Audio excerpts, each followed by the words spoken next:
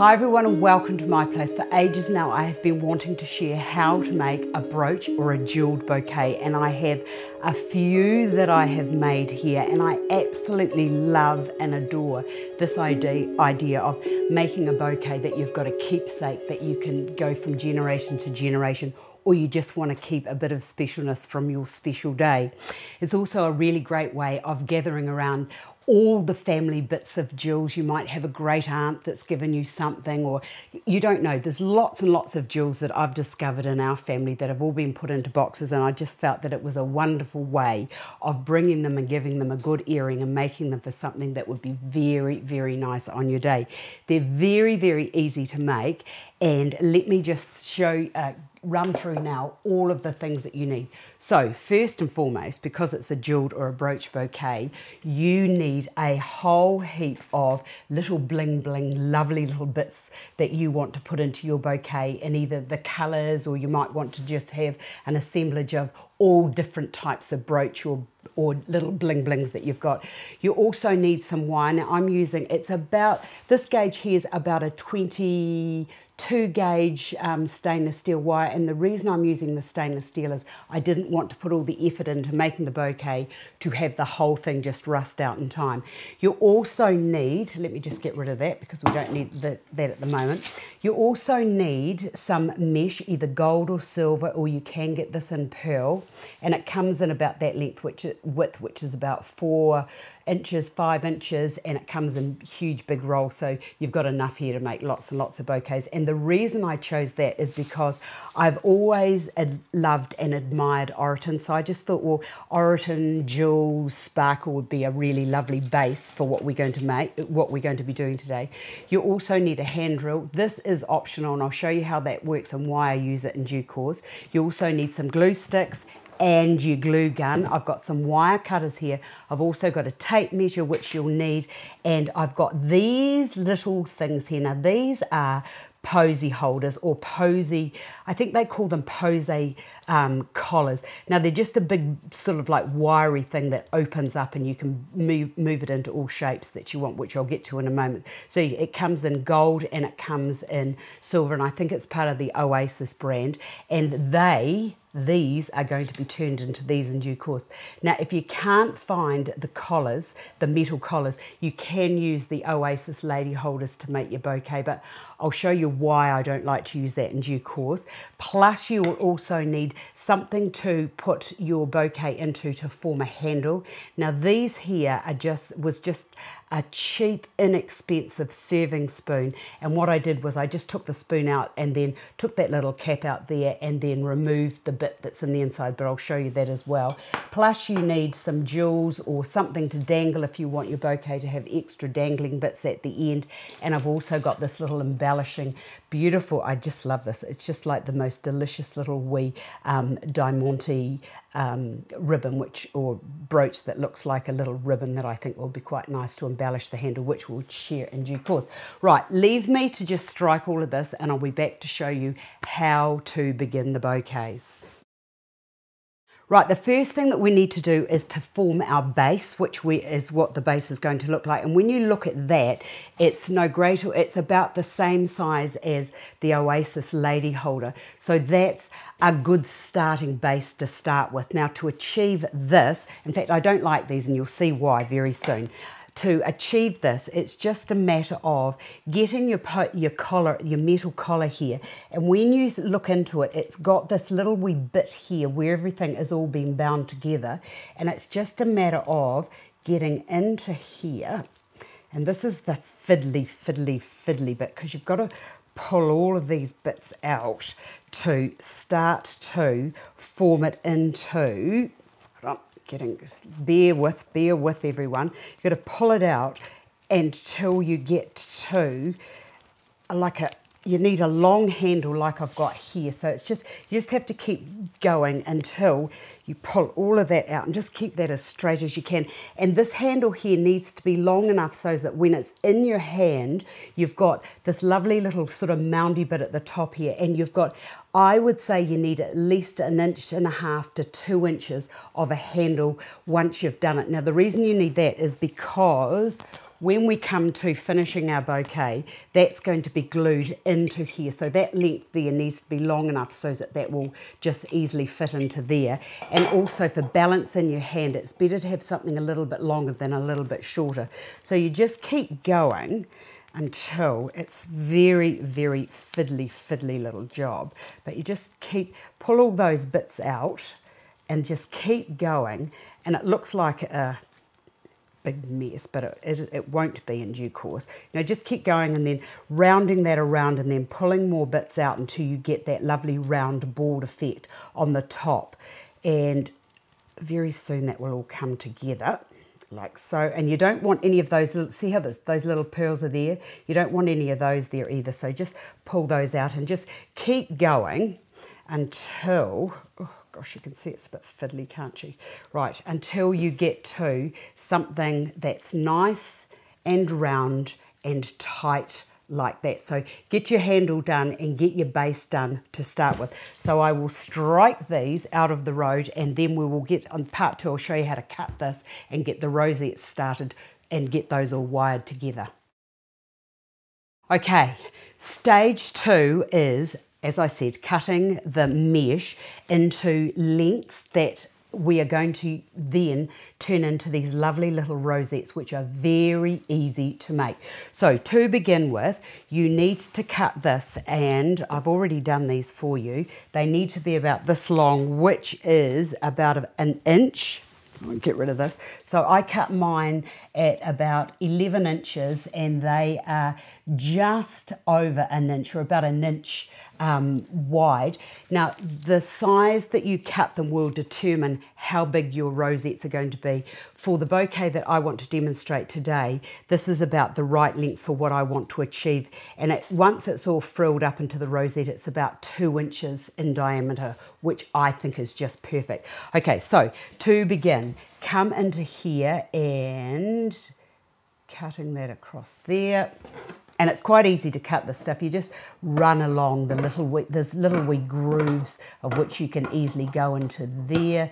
And then it's, I think I measured that there were about um, five. So you just come across five or just measure to that inch, which is about five of those. And then just cut all these. Now, cut all of these first into your required sizes of what you want to be, you know, for your rosettes. And I found that I needed about, four, the bouquets that I made, I needed about 20, 25 of your little rosettes.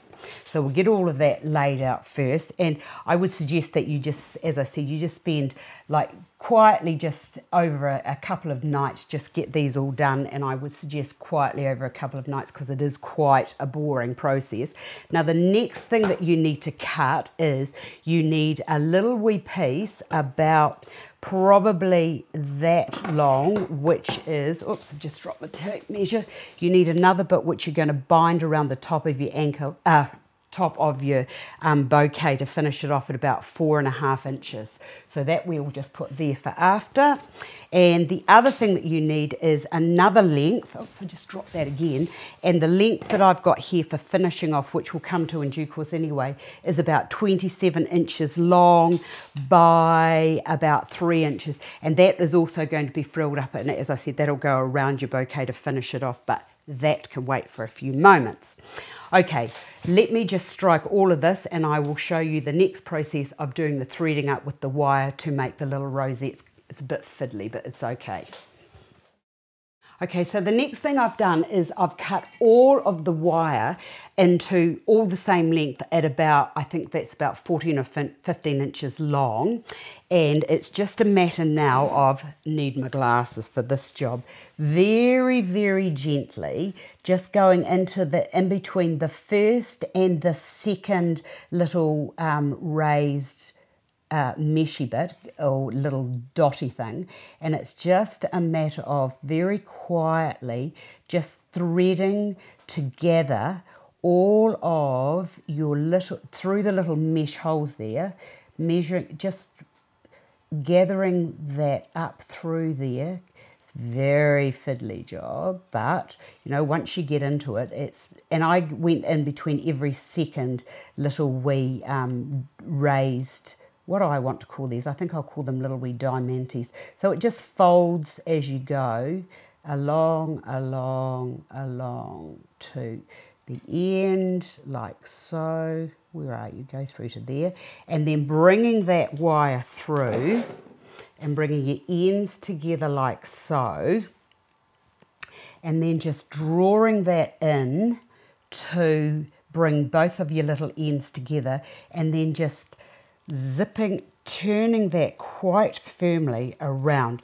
Now what you're going to be left with is two of those little, can you see those little feet there? You've got two little feet.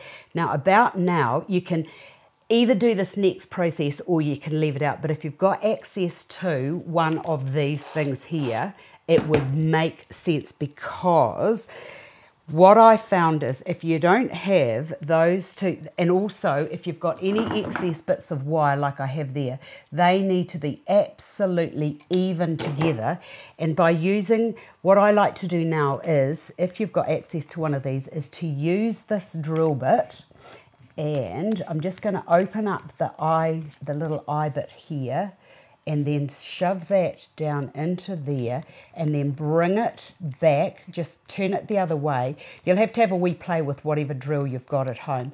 Drilling, turning, putting that into there, into that wee nozzle, no, nozzly bit there, and then tying that off tight and then holding this at this end.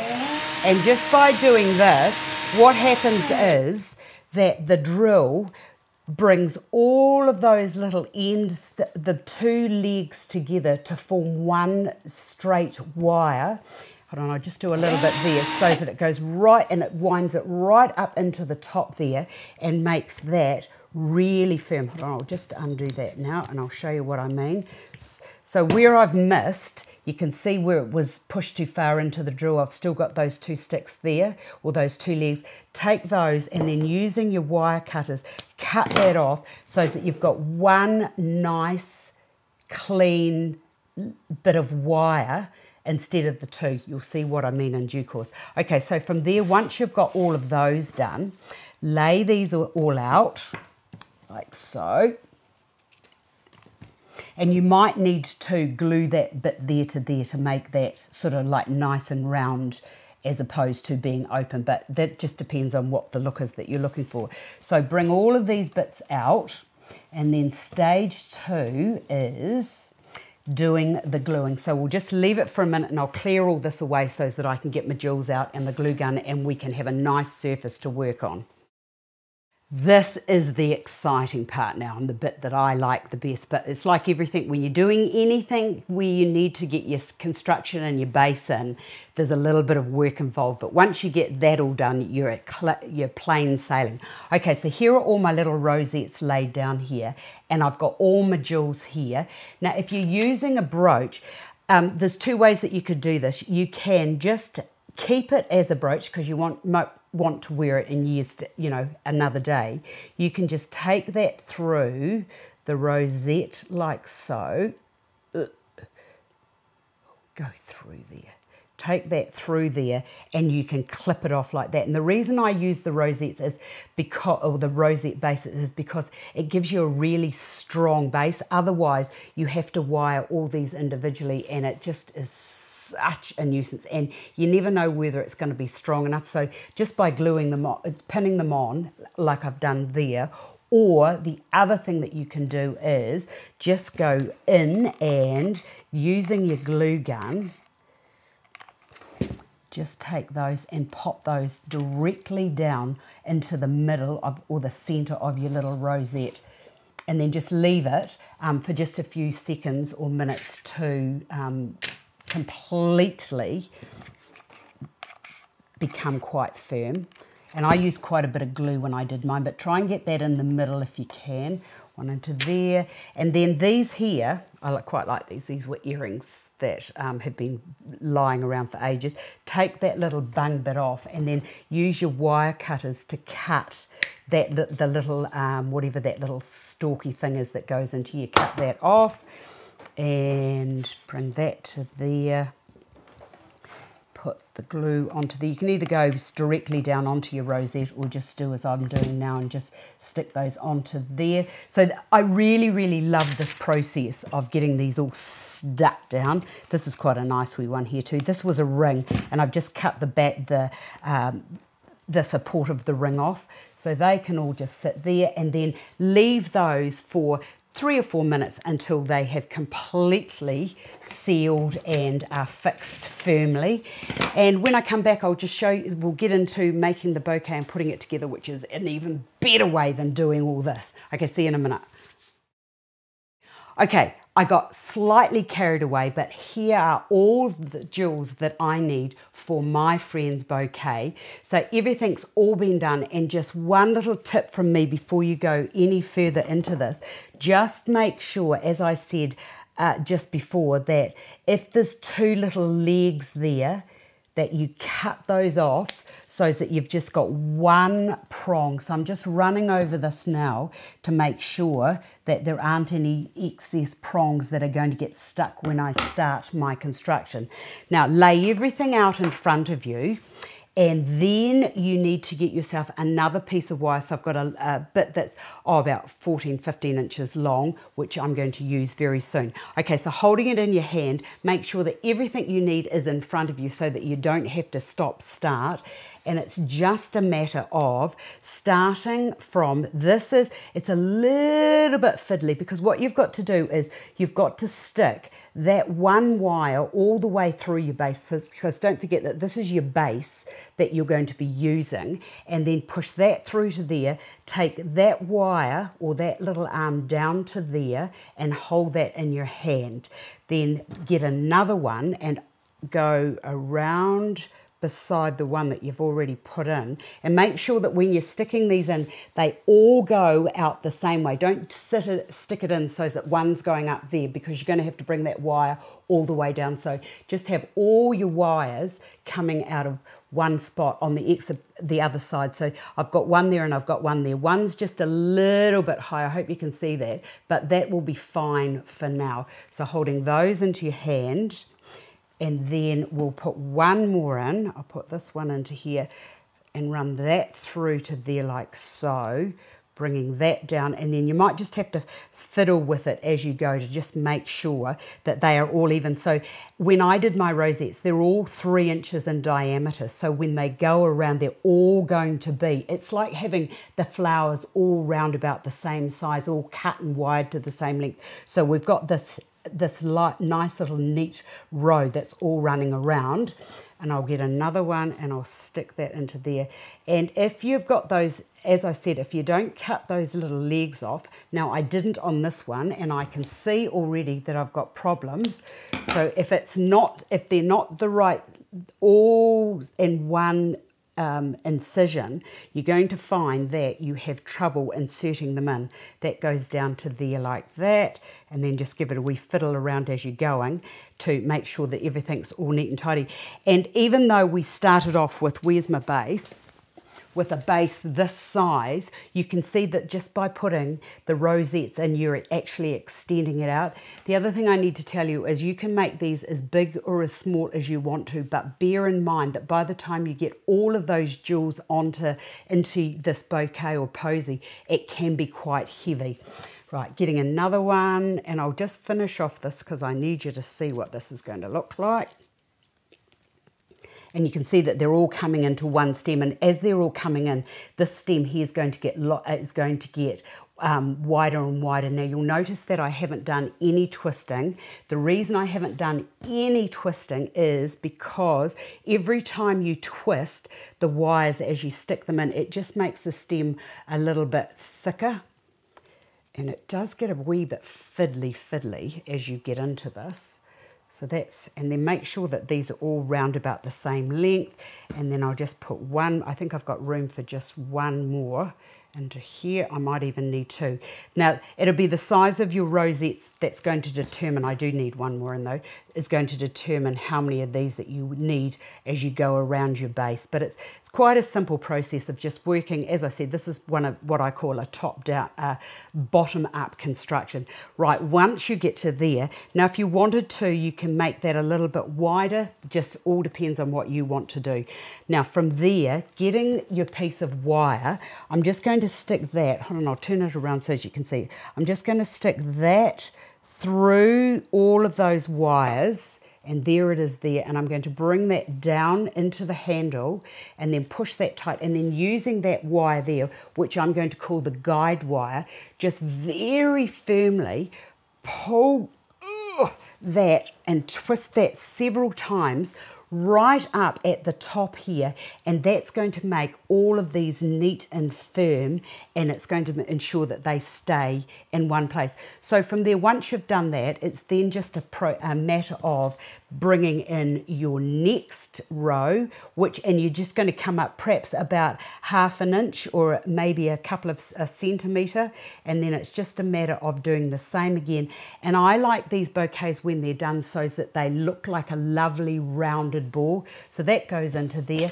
Now, the other thing is I can't tell you how many of anything that you need.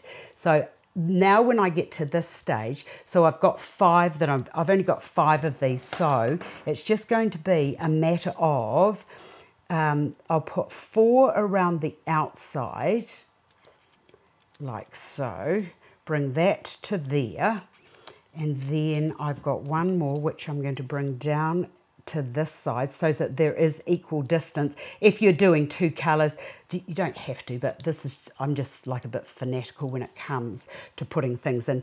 Now, you can then go down and then with all of those, see, we just see how I've got two there and I've got those two over there. Just, just, just gently move those out so that you've got equal distance. And because you've got the wire on those you should be able to easily do that. And then get your guide wire again each time you put four or five in and then just give that another pull. And then I've got one more. So what I'm going to do with this is I'm going to put this from right from the top here and push that down through all of the wires until I get through to the other side. So you can see how the picture is the posy slowly, slowly just coming to fruition.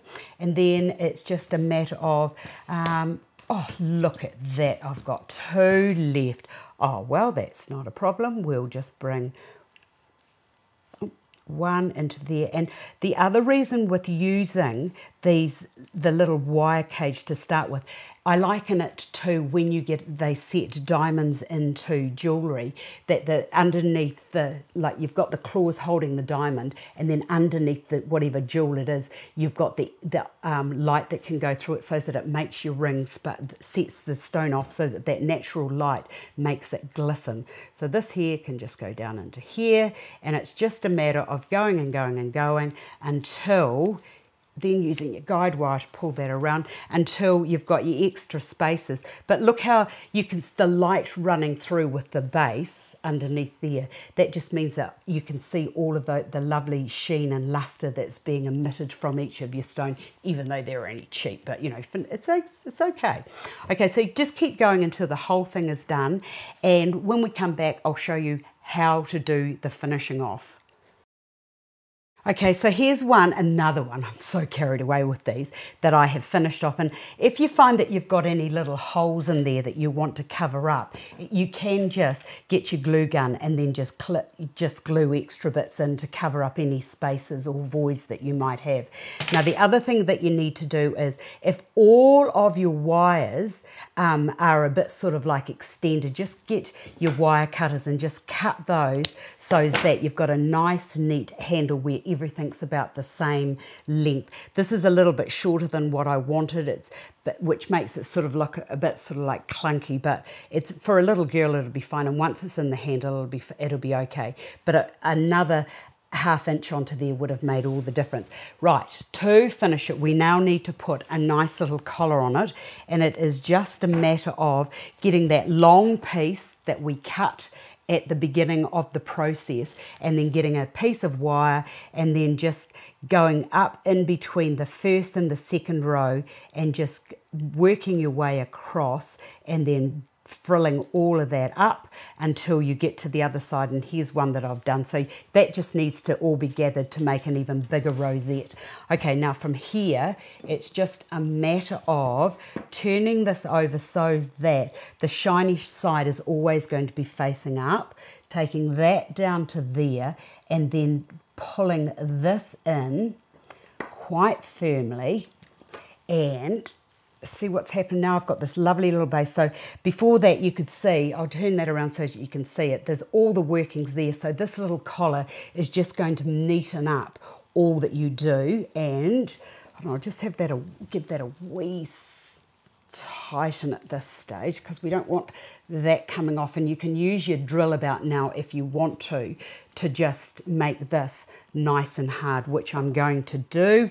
And it looks like I'm being a bit rough but it's okay.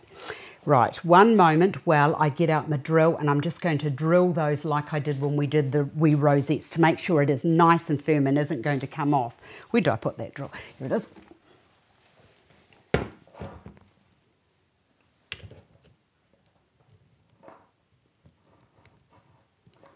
It's very fiddly.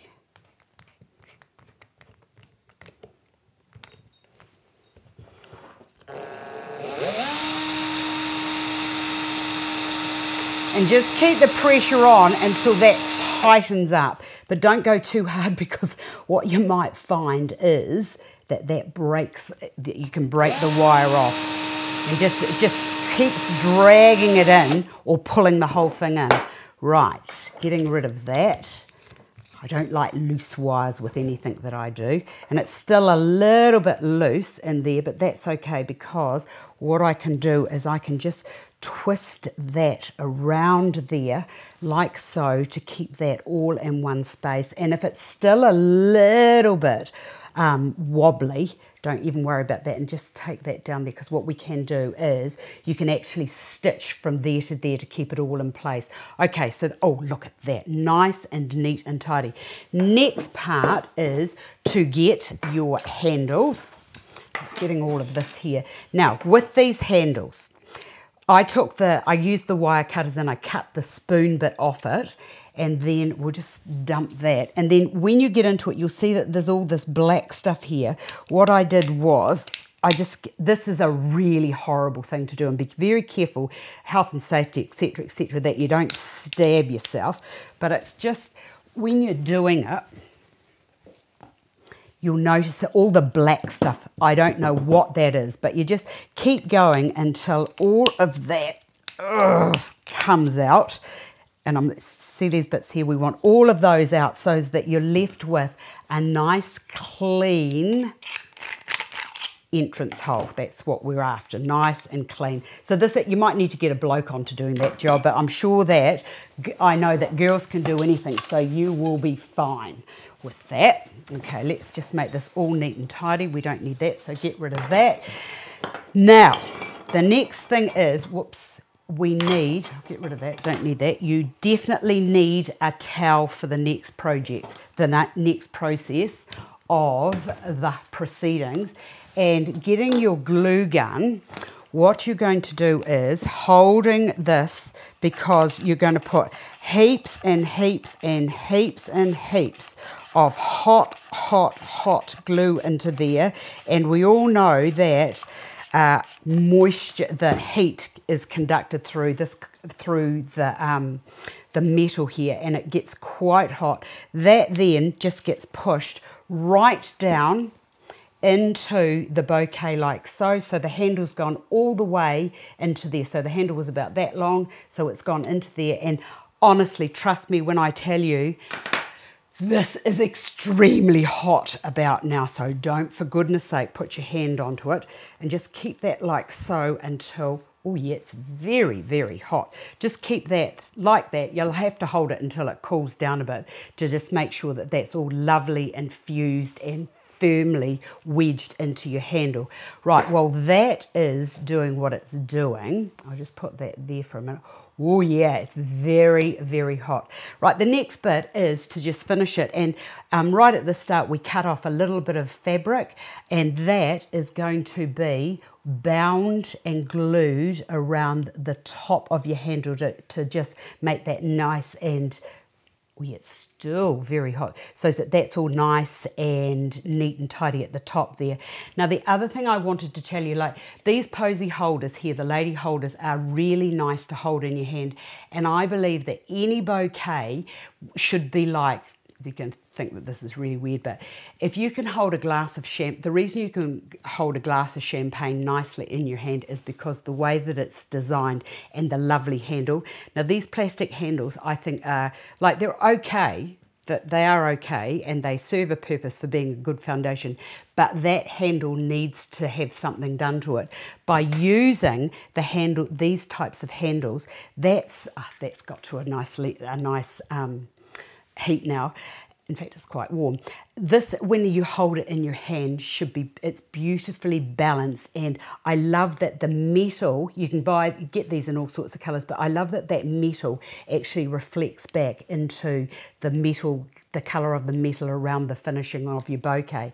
Now getting this here i'll just put that onto there for a minute. I can that just needs to go around there and it needs to, I need a little bit of glue which I'm just going to run around the top right up there at the top. And if the the collar isn't on nice and firmly the great thing is that this this extra bit of fabric that you put around the top to finish it is going to make it nice and neat. And do be careful when you're doing this gluing around here because what actually happens is the glue does go through the little holes in the mesh. So just be mindful of that when you're doing it. But you can see now the width of that little collar that I've put around the top collar is actually eh, um, almost like it's another good um, protection and it also just brings a little bit of that mesh down into the handle.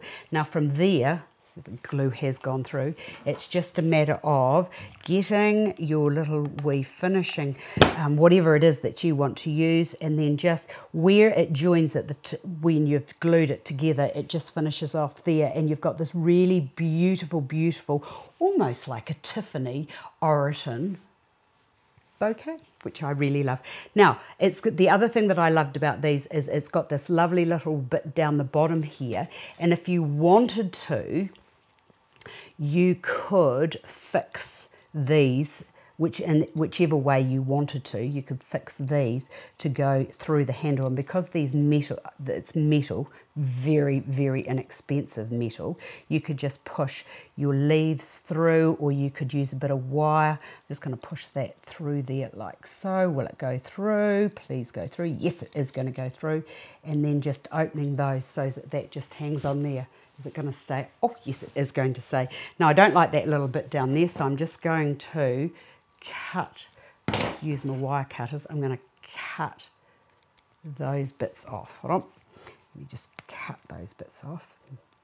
They're not quite as good as they could be. So there we have a finished bouquet. So this is one of the finishes that I've done. So I'll put that there and let's just look at all the other types of bouquets that I've done. I really, really love this one here with all the multicolours in it.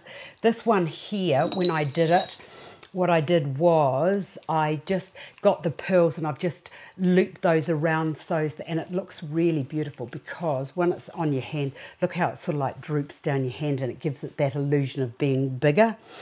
And the other thing I've done is, hold on, I'll just put that there, is with this one over here, and you can be quite rough with these once they're done. I've actually taken that to hook up into there so it comes down and goes back into it.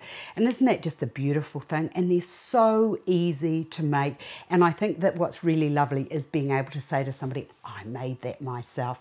So when I come, I'll just give me a moment to just strike all of this and I'll show you one of the ways that I present them to give to my brides. Right, when it comes to presenting these, so if you want to be making these to make as a little um, business for yourself, I've just got the colours of that I love, which is black, which goes with everything else. Then what I did was I got this here, which is a satin pillowcase, and I filled it with those little bubbly things, those little, you know, those little things that are in bean bags. I filled that, and then I've just stitched across the top of the opening of the pillowcase so that that can line the box. And the great thing about those little oh, love that, that those little wee sort of beady things, whatever they're called is, it's nice, it makes for a nice, cushiony, safe environment for the bouquet to go into. Here's in this bouquet, which, oh look, of course, I love this one here. The bride um, has, her bridesmaids are in a lovely blush pink, so that's going to be just beautiful. That goes down into there. And the other thing that I do when I'm doing these is I always put a glue gun in, a little wee glue gun, they're inexpensive. Put that down underneath with a couple of glue sticks. And it just means that if anything is going to come off, there's not going to be tears at the end just before the wedding because jewels have fallen off. They can be re-glued in. Then just cover the box up like so, and that's nice and protected in there. Astar's Place box with lid on it. And then I just tie that across there. And that's, not only is it a lovely presented design or bouquet, it also is somewhere for your beautiful, the bride's beautiful bouquet to be resting in after the event that can come out for the next generation perhaps who are getting married and would like to have their own little bouquet. I hope you've enjoyed that. I've enjoyed sharing it with you and I tell you what, it's a great little business for, for somebody out there, for you out there looking for a nice little income or to make something special for your own wedding. Hope you've enjoyed it. I've enjoyed sharing it with you and I look forward to seeing you another day.